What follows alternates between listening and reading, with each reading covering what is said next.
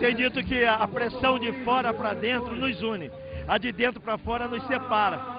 E nós estamos vendo isso acontecer. Houve pressão, a igreja reagiu, se uniu e está aí verdadeiramente mostrando a cara e falando que não aceita essa pouca vergonha, que não aceita isso, essa patifaria toda que estão querendo fazer.